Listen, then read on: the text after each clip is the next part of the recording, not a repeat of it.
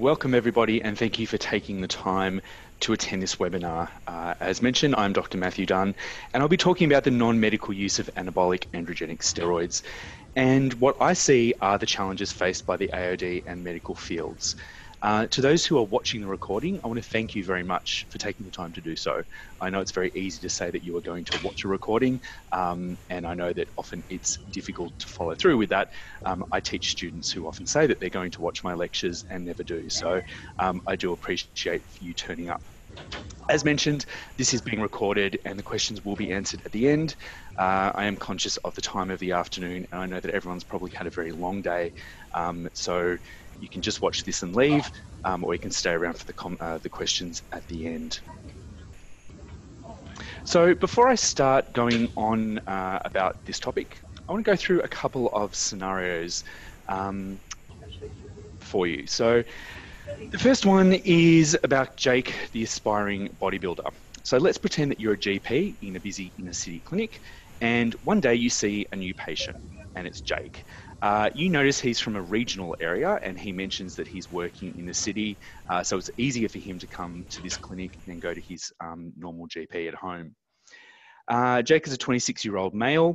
He's training hard at the gym. He's eating very strictly. Um, his uh, training is pretty strict as well. Uh, he tells you that he wants to be an, a, a bodybuilder. He's aspiring to get into the bodybuilding scene. Uh, he's uh, in the past uh, a couple of weeks or about a month or so decided that he wants to experiment using performance and image enhancing drugs. So he goes to another bodybuilder at his gym and gets advice. And this other bodybuilder says, uh, for your first cycle, I want you to take 750 milligrams of Test D, uh, 300 milligrams of Deca, and some Nolva. Uh, Jake does that for several weeks uh, and notices that he gets really bad acne on his chest. And it's gotten so bad to the point where he's not wearing a tank top to the gym, he's not taking his shirt off at the beach, and he's quite worried. He's gone back to the bodybuilder that he got the advice from and said that he um, is experiencing these effects and he wants to uh, probably stop using what he's using. But the bodybuilder says, look, no need to do that just drop down to 250 milligrams of test um, and, and you should be fine. Uh, so he does that, but the acne is getting worse, and that's why he's come to you. Um, he was, before he came to you, uh, seeking advice from another friend because the acne is just getting really worse and he's really worried. This is the first time he's done a cycle. So his friend, uh, who he knows uses steroids, said, Look, um, take some Oratane, take 10 milligrams a day, um, and you should be fine. Um, and if you want to come off the steroids, probably use some HCG, some aromasin, and some clomiphene as well. Um, and so he's done that, uh, but the, the, acne is getting really worse, and so he's he's come to you. The second scenario uh, is Ahmed. So he's a regular patient of yours. Um, he comes in for some advice. He tells you that he has used steroids in the past and he's thinking about doing another cycle. He's familiar with a range of substances, so Test PE, Tren A, MAST, um, and he's used some oral steroids in the past as well. His next cycle, he's planning on doing 800 milligrams of Test 400 weekly, uh, 600 milligrams of Equipoise weekly, and 50 milligrams of Anadrol daily. He's come to you because he wants to get his bloods done. Um, he's never done this before, but the other guys at the gym say that he really should get his his bloods done before he goes on cycle, um, during cycle, and then when he comes off cycle. Um, and he's come to you for some advice about that for both those scenarios, and if, the, if we were doing this face to face, I would go through and ask you, and you don't have to be a GP for this because I no doubt that if you're an NSP worker or if you're a even a counsellor or someone that's in the front line of the alcohol and other drugs sector, you're probably seeing something similar to this at some point, or you're worried that you're that you might do. I want you later on, and we can talk about this in the Q&A section, um, for both scenarios, think about how would you react to this? Um, what would you do? Where would you start? Are you equipped to deal with these scenarios? Do you know anyone that you could refer to or that you could seek um, guidance from? And what other information would you need to be able to provide care to these patients or to the person that comes to see you? And I guess the, the question that um, I would like to start us thinking about is do you even provide that care? because this is becoming more of a reality for medical practitioners, but also, as I said, for frontline AOD workers, whether you are in an NSP or any other frontline clinic. Um, and I think now is the time that we really start to consider our role um, that we play and the position that this group of substance consumers has in our fields. Um, and if you've experienced something like this and you'd be willing to share your experience at the end of this webinar, then I'm more than happy for you to do so, or you can do so privately with me um, at a later date. I'm more than happy to hear from people. Um, I recently had dinner with a group of GPs and this came up and, and we were meeting to discuss how GPs talk about this. And what was really interesting to me was that all of the GPs who knew each other that came from similar clinics in different parts of Victoria thought they were the only ones that were seeing this. And um, I think we kind of need to start having these discussions, and now is a really good time to do that. So this afternoon, I really tried to pitch this webinar at people who don't know much about this topic or who know a little bit but would like to have more of the picture. And by no means will I fill in the whole picture because it's a very large one, uh, but I really want to give you the information that if you don't know much about this or anything at all, that you can take this information or walk away and be a little bit more confident than where you are now. And maybe even if you are seeing this client group or this, this patient group, be able to um, have those conversations. So this webinar will provide an overview of the types of substances people use, uh, outline the purposes for use and the context within which they are used, present the short and long-term effects experienced, and then consider how the medical and broader AOD community can engage this group. So who am I and why am I talking about this? Um, I am Matthew Dunn. I um, am a steroid researcher, um, which sounds a lot more fancy than kind of what it is. And if you could see the lower part of me, you would know that I um, don't really fit the, the profile of someone that would be um, researching these like many people think that I, I do. Um, so I have a psychology background. Um, I did my PhD at the University of Sydney. I looked at the influence of drug use, exercise, and sexual orientation on body image concerns in men, and I graduated with that in 2006. Uh, the main part of that PhD and that drug use component was looking at steroids um, as well as recreational drug use. Um, I've got a number of other qualifications that matter nothing to this webinar. Um, I started work at the National Drug and Alcohol Research Centre at the University of New South Wales in 2005, um, and I worked on the EDRS and the illicit drugs in sport projects uh, before I came down here to Melbourne at Deakin University, uh, where I have been since. Uh, my primary research stream is um, steroid use. And I've published papers looking at the prevalence of use in different groups, um, things that might predict who might use these substances. And in recent times, I've really focused on looking at how this group takes care of themselves because there is a, a real um, thought that this group are just a bunch of meatheads who go to the gym, lift really heavy things, put them down again, and that's it. And that really is a stereotype. And so the research that I've been doing is looking at how they share information and how that use that how they use that information um, and how they come into contact with services. And my ultimate goal is really just to empower this group to take care of their health, whether it's when they're using or whether to make that decision not to use, but also to help people like you who might be watching this webinar um, help that group take care of themselves. Um, and so today I'm hoping is the start of that dialogue.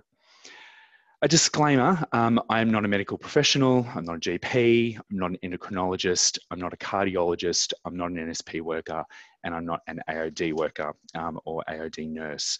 Um, so I'm just putting that out there in case people expect that I, or accuse me of coming from a different angle. Um, all these people will have a different angle and those are important angles. And I love hearing from the different people that come into contact with this group um, because you all have views and experiences that I don't see um, just like I haven't for you an experience you don't see. So let's get on with it. So um, I've used the term PEDS um, a couple of times, um, and that term refers to performance and or image enhancing drugs. And that is a broad term that encapsulates a number of substances that are used to enhance performance or body image. This term um, is used differently in different countries. So the British will use the, um, the acronym IPED, uh, Image and Enhancing Performance Drugs. Uh, that's just because of their imperialism, imperialistic ways. They like to do things differently. Um, but it, what it encapsulates is a range of substances that do these things. Um, so that can include things that I could go out now and walk into a supermarket or um, a health food shop or a pharmacy or whatever and buy. So a multivitamin. Um, it could include creatine or BCAAs. Uh, if you don't know what those are, that's completely fine. They're sports supplements that you would buy at a sports supplement shop. But it also includes things um, that are used non medically for these purposes, such as anabolic, anabolic androgenic steroids. I'm just going to call them steroids from here on in. Um, steroids are the most researched uh, regarding non-medical use um, in terms of the substances uh, that we encapsulate in PEDS. Um, and I'm using the term non-medical for a particular reason. If you haven't read Dr. Briony Larance, Larance's paper, uh, I think it was 2011 paper looking at terminology and prescription opioids, I really wouldn't, um, I would encourage you to do so. I think it's a fantastic paper. And it was one of the first to really explore why the language that we use matters. And it was related to prescription opioids. And um, I say non medical use in this context because we need to remember that steroids have therapeutic uses, um, legitimate therapeutic uses, um, and they just happen to be used non medically um, for the purposes that I'm going to talk about later on this webinar. Um, so much like the issue of prescription opioids, there can be some murkiness in terms of um, what's being used medically and non-medically, and increasingly we are seeing that with some of this group. There is some indication that people are using these for very valid reasons. They've been to a doctor, they've got a script, um, and they're using it um, therapeutically, but they're getting the positive benefits um, in terms of their, their body image or their uh, performance. I don't want to go too much into that other than what I've just said, but it's something that we need to remember um, as we go forward, and, and language is really important here. When I use the scenarios, I used a couple of terms. And again, if you didn't understand anything that I said in the scenarios, I hope at the end of this you will. Um, and so I'm going to use and go over some of the terminology um, now so you get up to speed before I go forward and talk you about the rest of the um, what I'm going to talk about today. And the first is cycle. So this refers to the periodic use of steroids. So going back to those uh, scenarios, a patient might indicate that they're cycling on for eight weeks and then they're going to cycle off for eight weeks. The early stages of a cycle or the period of use will probably only involve one steroid, and I will cover the types of steroids that people use. Um, and it's probably usually going to be one of the more androgenic ones, um, such as testosterone. So going back to that, um, that's those scenarios where they mention test or testy or whatnot. Um, it will probably also be an oral steroid, and I'll talk about that again um, in a little bit particularly if a consumer has never used steroids before. So new initiates will probably take an oral steroid, um, while more people more familiar and more comfortable with them um, will inject them intramuscularly. So do remember that these that these are drugs. They um, are substances. So a person will reach a plateau at some point um, when using them. So to continue making gains um, in terms of your physique or your performance, you're probably going to have to increase your dose. So during that cycle, you might start on a dose and then increase that as you go along in your on cycle. Um, and this means that there's an increased risk of a number of problems that could could crop up. So this is traditionally why there has been the on cycle period and the off cycle period, um, and that's being advocated.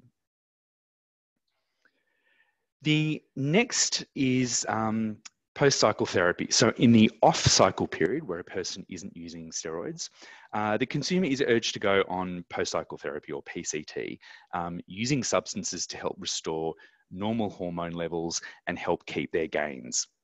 Um, and when I talk about gains, I mean the gains that you might get from the gym or from your performance or whatever the case may be. So this appears to be missing part, a missing part of many consumers' regimes um, and something they don't think about until they've come off um, what they're using or they have to stop using immediately for whatever reason. Uh, I published a paper a couple of years ago with colleagues Dr. Fiona McKay, Dr. Scott Griffiths, and Richard Henshaw, and I'm happy to send that to anyone that wants it. Uh, my email will be at the end of this, uh, where we explored this issue. And those uh, consumers talked about the importance of post cycle therapy. Those who had never thought of it uh, really wished they they had, and those who advocated discussed that this is something that people need to think about uh, before commencing a cycle. Uh, the next phrase, um, I, I, use the terms of blast and cruise, I think, in one of the scenarios, and if I didn't, then I, I miss them. But this is also something that's coming along that's related to the, the period of use. This is where the consumer will start with a really large dose, um, initial larger dose of their steroid for several weeks. Then they'll drop down to a smaller dose um, for several weeks before going back up again. So remember with the scenario with Jake, his uh, bodybuilder friend suggested he uses 75, uh, 750 milligrams, um, and then um, he suggested we'll just drop down to 250 and then drop up again. Uh, so that would be an example of blast and cruise. And I should mention that those scenarios that I used um, are actual scenarios that I took from online forums. Um, so they are things that you, you could actually um, come across. So that cruise period is really a maintenance period where your dose is used to keep your gains, but get your hormones down to a more normal level. So your body doesn't get used to that high level. Uh, here, the consumer isn't getting off their drugs, and that introduces a new range of issues. From my interviews and from the work that I've done, there seems to be a generational divide. Your old school bodybuilder will say that you have to do the on and off cycle. So you go on it for eight weeks or whatever the case may be, and then come off it to give your body that time to recover and your body to kick start again. Um, and they accuse the the new um, school of bodybuilders of doing the blast and cruise. Um, you will find advocates everywhere for either or one or the other. Um, and I'll talk about, when I talk about how we can engage this group, this is one of the things that um, is really interesting.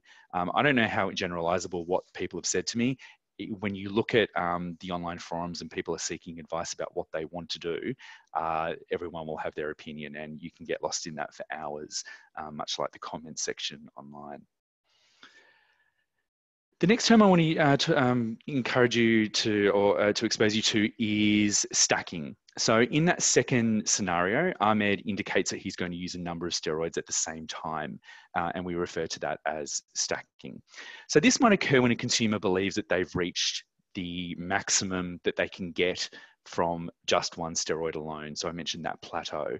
Uh, so they might use um, a range of substances, um, or if they're seeking a particular outcome with their body um, or their performance, then they might use a number of steroids to try and um, to reach that gain. So, what steroids do people use?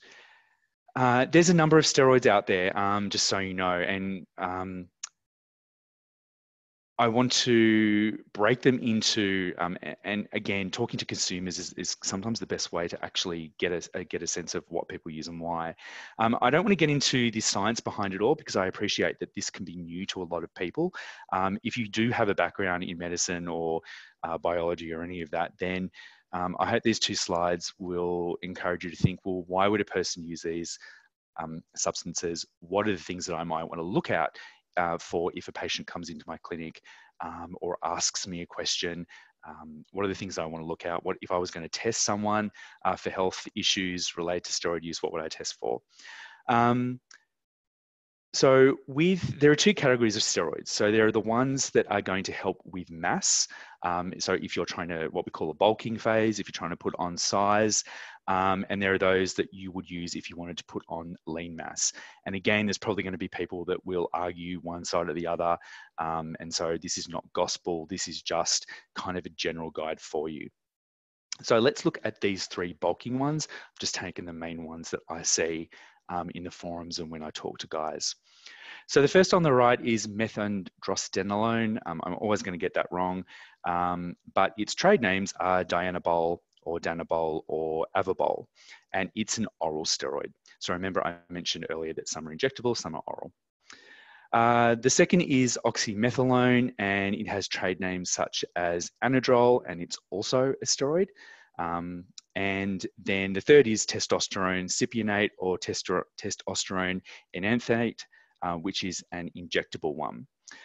Um, these are really going to help with bulking, but they also tend to be estrogenic, which means they're going to lead to fat and water retention, which does actually help with that bulking look, but it can lead to some negative side effects or unwanted side effects more than negative. Um, they are negative, but some this group tends to see these things as just a byproduct of using these these substances. Um, and the main one is gynecomastia, um, or um, they some people call them bitch tits. Uh, it's just the uh, enlargement of breast tissue in males. Um, so that is a um, a side effect. So in this instance, a person may know if they're using these substances that that could be a side effect, so they might take an anti-estrogen as well. And in a couple of slides, I'm going to look at some of the other substances that people might use. Uh, the second category, as I said, is the lean mass group. So these are, uh, there are a few in this category, and again, I've just gone for the, the main three. Um, the first is nandrolone decanate, um, which is an injectable one. Its trade name, it, trade name is Deca durabolin or just Deca, um, as is usually what it's referred to. Uh, the second is oxandrolone, uh, which is sold as Anavar, and it's an oral steroid. And the third is stanozolol, which has a number of names, but Winstrol is one of the main ones. So as I said, these are the major ones, uh, the steroids, these two categories and these six. You might also come across trenbolone, which is used for bulking. Um, this is a really interesting one. When you talk to guys and when you uh, look at the online forums, most guys will try and avoid that one. And the anecdotal evidence from some of the people that I've spoken to is that if you have any aggressive tendencies, uh, this is the one that's really going to bring those out. So a lot of them try and avoid it.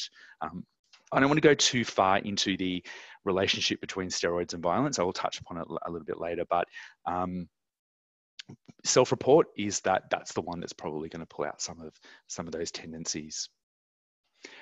So people will use other substances, as I mentioned, and I'm not going to go fully into those, um, but it is worth knowing.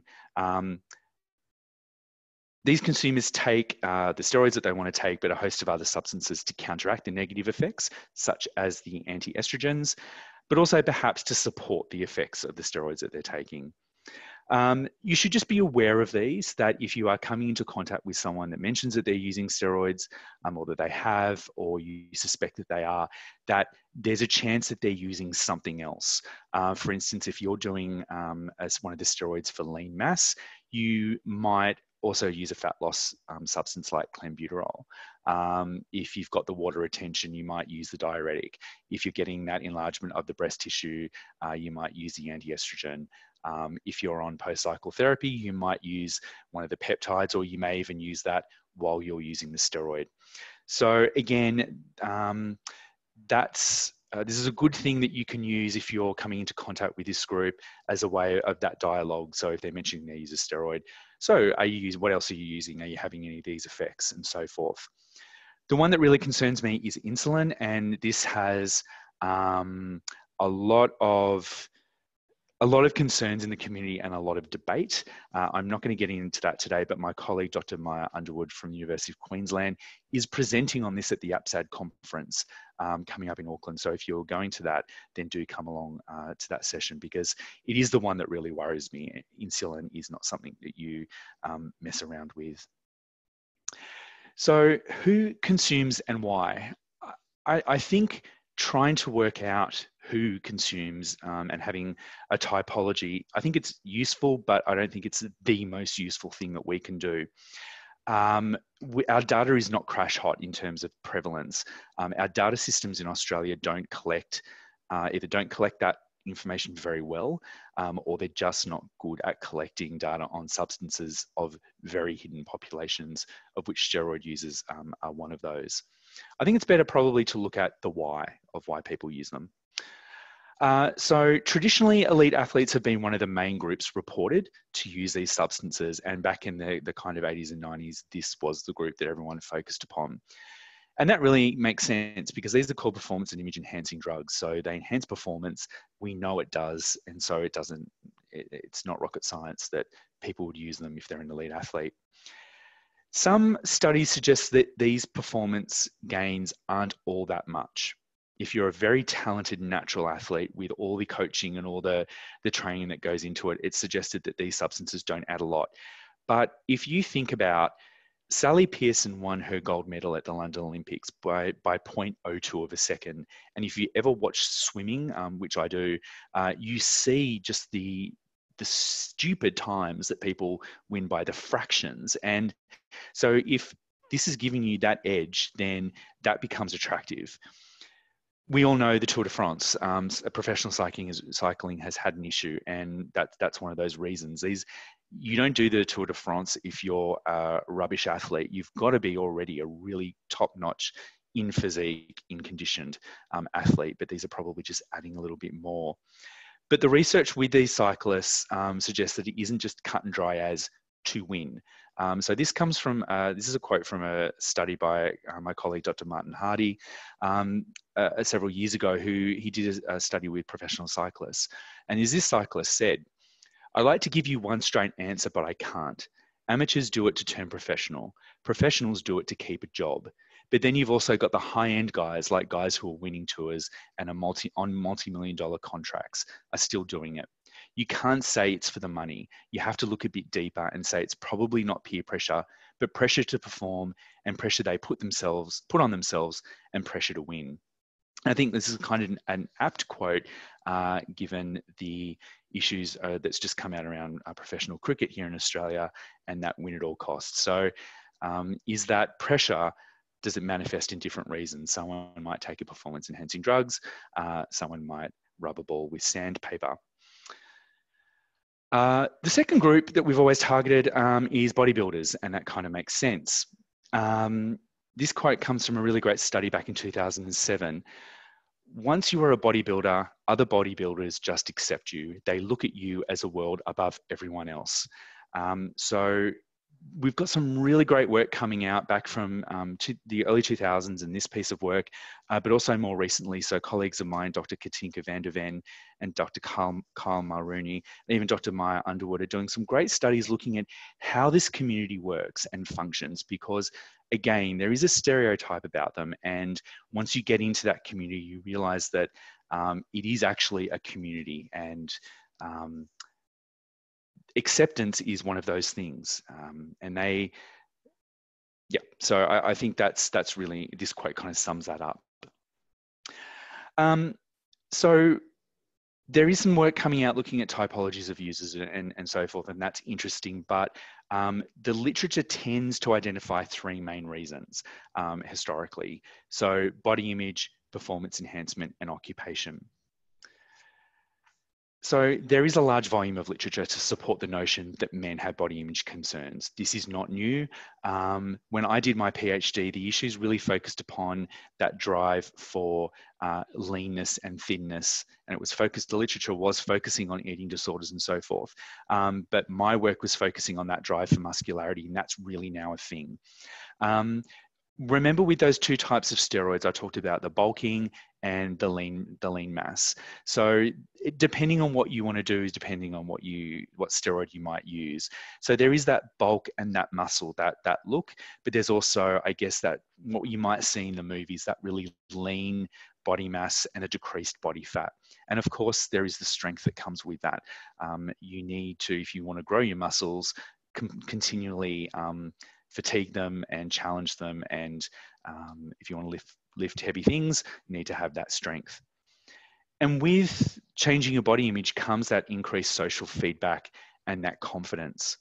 Um, several years ago, there was this is from the news.com.au website, and don't judge me for looking at that site.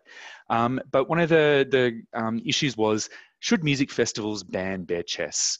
um, because that was what we were seeing at um, those music festivals is guys going in and uh, taking their tops off. Um, and one music festival did. But if you're going to festivals, this is what you're seeing. And there are guys that will spend their year conditioning their bodies to be at peak for a music festival or a dance party or something similar. And with looking like this comes that that feedback when you walk into a music festival or uh, any environment, I guess, and, and you look like this. Um, but imagine you're not a, you're a guy that doesn't look like this. Uh, so you go to a festival or you go somewhere, you see what other guys look like. What's that going to do to you? We see it in the media, and so many of you probably seen this. If you haven't, then um, Professor Harrison Pope from Harvard um, has done did a did the groundbreaking breaking study looking at the changes in action figures and the dimensions of those figures. Uh, he came to the APSAD conference in Melbourne last year, um, and that was recorded. So I if you're really interested in this topic, do do look at the APSAD YouTube channel um, and you can find his keynote. It's utterly uh, fascinating, and these uh, action figures do make an appearance. They travel the world with him. Uh, but we see this, um, so these are what uh, video game characters look like these days. Um, this is what young young men or men are being exposed to. And I hear you say, well, women have always been exposed to that. That's true. And social media now is, is where it's all happening. Um, this is what women are seeing um, and the slogans that come with it. Uh, but this is what men are seeing as well. Um, and uh, the whole way that social media portrays some of this this issue, I think, um, is leading to some of the issues that we're seeing, particularly in body image um, problems and mental health problems. And again, um, Dr. Scott Griffiths at Melbourne University is doing a lot of work on this. The next group is the performance enhancement. So yes, it is the elite athletes, and I think we would be naive to think that it's not, but it's also those sub-elite athletes and those weekend warriors these substances do increase strength and endurance, um, and they help you get the body that will do the things that you want on the sporting field. They do help recover after intense activity or even injury. I think we're seeing this now because sport is a legitimate career and there's been the commercialization of sport. My 12 year old nephew um, wants to be an elite athlete, he wants to be an AFL player. Um, that's actually a career option for him when my father, who swam for Australia decades ago, um, he gave it up because uh, that wasn't a, a, career. You didn't get paid for it, and he wanted to have a family, so he left um, competitive sport. Um, but now it's a it's an actual thing that you can do. But there are limited spots, so um, you have to be the best of the best. And if you are an elite athlete, all it takes is one niggling injury to wipe you out of your career. Um, so if you need something that might help you recover or reach the peak or even go further than that, then um, these substances can do it. But it's also occupations. And so we, we see and we hear about use amongst prison officers, bouncers, personal trainers, manual labourers, and models. Um, so this, um, these two quotes are from a study uh, from 2010, I think it was, uh, from South Australia. And it was really interesting. The first is from a bouncer it's just the look, you know. If people see me at 71 kilos, they think that I am nothing and they can walk all over me. But if they see me at 95 kilos, completely different story, you know. No one will talk back to you at that weight. And as a personal trainer said, basically in my industry, it is a very competitive industry. So if for so for one, if you are looking bigger and you look good, that probably being on the steroids just gives you the upper hand. I don't see these three reasons, three um, reasons for use as um, standing in isolation. I think they really are interconnected. So the personal trainer who decides to use for their job benefits from looking good. The athlete who takes them to enhance their performance may also want to enhance, enhance performance because being an athlete is their job. Um, the manual laborer who has got a slight um, uh, a niggling injury uses it because it enhances their performance but helps them um, recover for their job. So these motivations are interconnected, and I think we can't look at use in isolation. I think it does um, have to look at um, come together. So the effects. Um, before I talk about the effects, there's a couple of caveats here. Um, firstly, as I've mentioned several times, no one just takes one substance. You might just take one steroid, um, but you're probably going to take something else if you continue using. Um, so we don't have a good understanding of what each substance might do. Um, again, going back to um, Ahmed, he's taking a couple of steroids and he might take a growth hormone, he might take something else um, when he comes off. Secondly, people cycle on and off um, traditionally. So what happens to your body in the long term if you're cycling on then coming off? What, what, what does that do? We don't have great data on that. Um, and doses are greater than in a clinical setting. So for those of you that are um, medically trained, you've noted the doses in those scenarios are a lot higher than what you would um, probably prescribe someone therapeutically. So we've got a good understanding kind of of what, what those doses do. Um, you just have to look at these guys, and, and I do talk about guys um, because we don't have good data on women. Um, but you know, we know what they do, we just don't know what they're doing internally, particularly over the long term.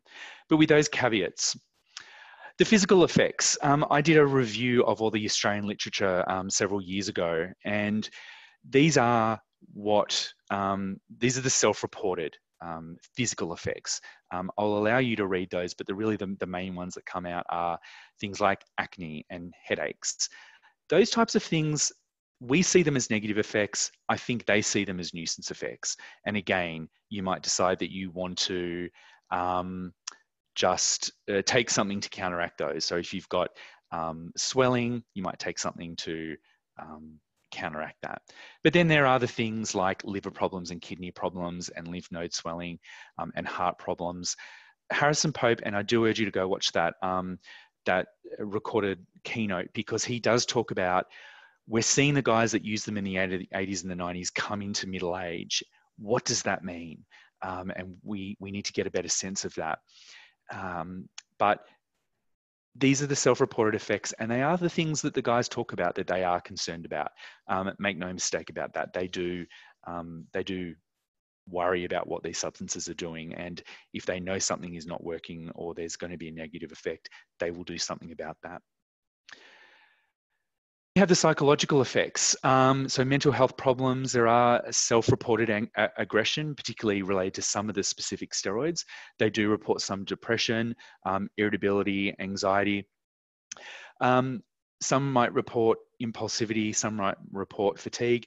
The issue around um, libido and erectile dysfunction comes up quite frequently. Um, you know, guys might say that they've got absolutely no libido, um, or they're really, really horny, and uh, apologies for that word, while they're taking steroids, but when they come off it, um, they've just got nothing in the tank.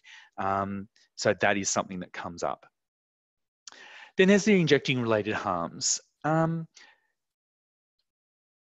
I'm, I'm going to just focus upon this for a little bit because it's, it's an issue that comes up. And again, if we're talking about how we can engage with this group, um, it's something that we need to consider. If we look at this issue from a public health lens, then yes, we are concerned about injecting related harm. We need to take into account though that consumers don't see this as an issue and get actually quite offended when you bring it up. Um, we know that steroid consumers have low levels of bloodborne viruses such as HIV and Hep C. Um, they engage in less bloodborne um, risk behaviors um, as how we measure it. And I think how we measure it is not very good. I think those of you who work in an NSP would probably see this group as a disengaged group from the service as a whole, and that mostly comes from um, the belief that they're not drug users. Um, they don't see themselves as drug users. They don't identify with the other clientele that come into those establishments. Um, I gave a presentation a few months ago talking about this issue, and I concluded by saying that we need to engage with this group on the issues they engage with when they engage with it. So when it comes to injecting related harm, I think we don't put this aside. I think we need to keep looking at it, but I think we approach it from a different angle. And I'm really happy to talk to frontline workers and hear from you in, in with regards to how you do this um, and your thoughts on that. So it's it's an issue, but it's not the biggest issue for this group. Um, a paper has just come out from the Netherlands or several months ago, um, and it was a respective case review of 180 patients who visit a steroid clinic.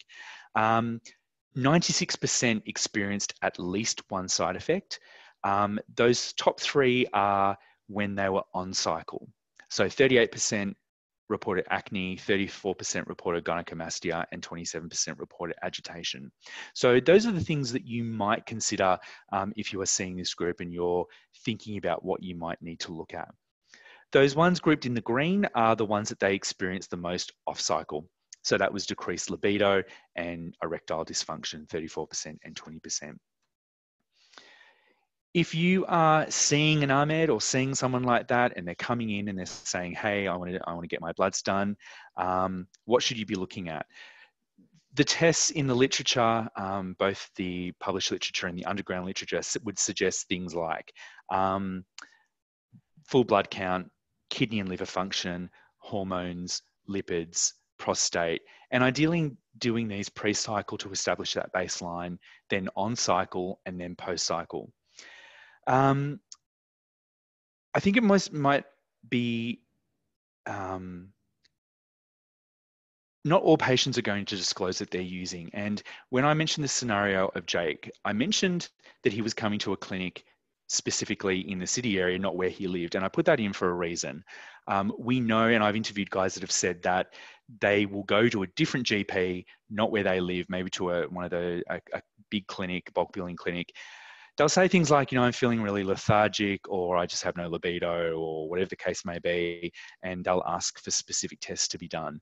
Um, so if you're seeing that, it might be a, uh, a clue to, talk about this and bring this up. Um, and they're doing it because they want to get they want to get these tests. Um, there are websites and, and people that run um, companies that will interpret the tests, or a lot of these guys are really, really good um, at knowing what all this means. And so they can decipher the test results them, themselves. They just need the test done. Uh, so those are something you might consider. So in the last couple of minutes, and I, have gone longer than I, I, wanted to, and I do apologize for that. Um, how can their medical and broader AOD community engage this group? Um, I don't pretend to have the answers to this, and again, I want I want to hear from you. But the first thing I think is services. So, what services do this group access and are they inviting? Um, so, for example, this client group takes a higher volume of equipment compared to other clients, uh, client groups at NSPs. And there has been this debate in Australia about whether we continue to allow this group to do so. Um, I know that some NSPs have put in uh, a range of measures because the amount of equipment is going. Um, some say, look, this is a this is a positive response um, from my own research, and I published a few papers about this. Um, uh, one guy might go in and get a whole bunch of, of um, injecting equipment and distribute that in a peer distribution model. Um, and this group takes a lot because they will take enough to last a cycle. So if you're using uh, for eight week cycle and you know you're going to do a couple of cycles, then you might go in once and get it all and not have to go back. Um, how do I, how do these services look to this group? They don't like going into them. Um, they do respect the people that work in them, though, and, and you've got um, a great um, uh, reputation amongst this group. Um, some work, uh, so myself, uh, Katinka van de Ven and Kay Stanton um, have written a little bit about this um, in some of the grey literature, and we thought, you know, if you have a high level of this group coming into your NSP, uh, do you have bodybuilder posters up, or if there's a competition coming up, um, any um, any posters around that? Would that work? I we don't know. That's a, a suggestion from us, but um, that's just one idea. So it's looking at the services and and are they inviting? Uh, I think NSPs are great because you are that hub to to link to other service, services. Um, but again, that's a contentious issue. I realise that. I've mentioned dialogue a lot, and consumers really are the best source of information about these substances. Um, so if they do disclose, ask them, why do you use this? Why are you using at this particular level? Um, this group is so knowledgeable about what they're using, and they do actually want to be acknowledged for that. They know that their GP may not know anything about this, and they know that the NSP worker may not know anything about this. And that's actually okay if you don't have that knowledge because they do. So that's a way that you can engage with them is asking them. Um, and remember that their concerns may not be our concerns and that we need to meet them where they are. So um, asking them what they're using and why is great, then going into are you injecting safely um, may actually put them off. So it's just about how we approach some of those, those um, topics when we do. So that is the end of my formal presentation. I'm more than happy to take questions. Um, I realise that some people may leave now as we're quarter to six. Uh, those are my contact details. Please don't hesitate to call me or email me, um, but I'm happy to take questions now. Okay, so you can either ask questions in the Q&A um, section that is located at the control panel at the bottom of your screen or using the Zoom webinar chat and we'll read them out.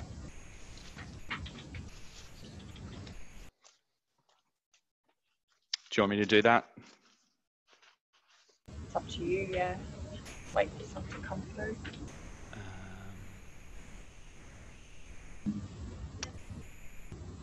I'm happy for you to read them out. Okay.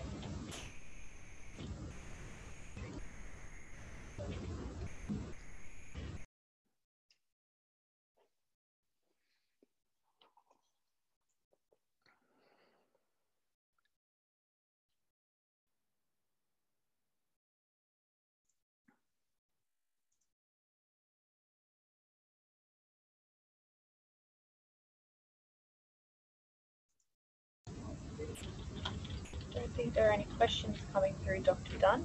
That is completely fine. Um, I know it puts people on notice when you ask them for questions, but as I said, I'm more than happy to hear from people um, later on. Um, too soon. There's one just come through. oh, Um, sorry if I pronounce your name wrong. Sina Tambi.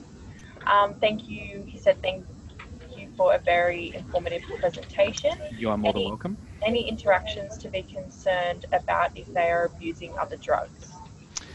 Cool. Um, as I said, I am not a medical doctor, so that is a question that I will invite the medical people to discuss. Um, that is a really good question, though, in terms of um, illicit drug use. So um, there's a lot of kind of contention in the literature whether this group does use other illicits um, or illicits. I, I'm of the frame of mind that it's a, probably a smaller group. As I said, most people using steroids um, are really into fitness, and people laugh when I say this, but they actually see these. They don't think of themselves as doing anything um, unhealthy when they're using these substances. They see them as enhancing or helping them reach their their full potential, um, and so don't don't engage in illicit substance use because um, they see that as unhealthy. That's not the the norm, though. There are um, there are groups where they will use other illicits. Um, so if you are going out and you look like those guys at those music festivals, um, why wouldn't you take cocaine or something like that? And that's a, um, a joking question, but um, and also we do see within the the, the gay uh, and bisexual community. Um, studies here in Australia, particularly, have found a relationship between steroid use, sexuality, and illicit drug use. I think that's more about the um, the way those studies have been conducted. So, um, if you do have a, a patient or a client who is same-sex attracted um, and they're using steroids, then illicits might be a question that you follow up with, um, just in terms of that. But um, that's that's not a hard and fast rule. I'm not generalizing. Um, so yeah, I'm not I'm not sure about the interactions. Those more medically inclined than me would be able to answer that. I'm sorry, I can't. Um, the same attendees just typing one more question. Legal problem. issues is the question. What would you like to know about legal issues?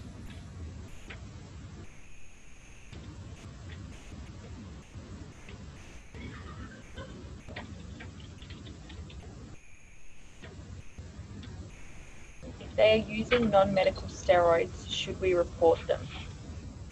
Um, I'm I'm going to leave that up to you, and this is a discussion that we did have with those GPs. Um, if you're a doctor, I'm I'm I'm guessing that you've got confidentiality issues there.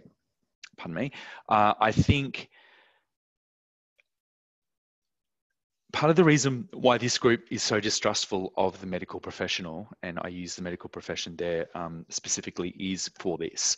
Um, they they will do everything in a roundabout way. Uh, you can't see me doing my hands there, um, so that they can find out what they want without disclosing. Um, I would probably err on the side of caution and say don't, um, because if you if you take that that approach, that that legal approach or the law enforcement approach, um, that then shuts down the therapeutic relationship, and that person, if they are the Jake, um, you know, if they they end up getting an abscess or um, uh, something like that, they won't come back to you. So, I'm I err on the I'm a harm reductionist. Um, I'm I'm not saying to people don't use something.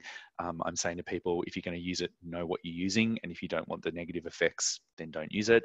Um, but I want people to do do things safely, and I want them to be able to approach people for help when they need it, and that may not be when they're sitting in front of you. It may be at a later stage. So, um, and also, as I said right from the beginning, some people have got legitimate scripts for these. Um, so it's uh, some of the issues that we we need to start teasing out are are people topping up on top of what their their therapeutic dose is. Um, if someone is using therapeutically and getting the benefits from it, um, what do we do in those circumstances? I don't have the answers for that, but um, yeah, I, I, think we we don't have to assume that everyone is using illicit stuff. Um, yeah. Thank you very much.